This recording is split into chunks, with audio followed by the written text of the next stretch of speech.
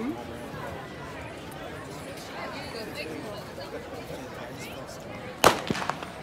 No, we're not going to push it.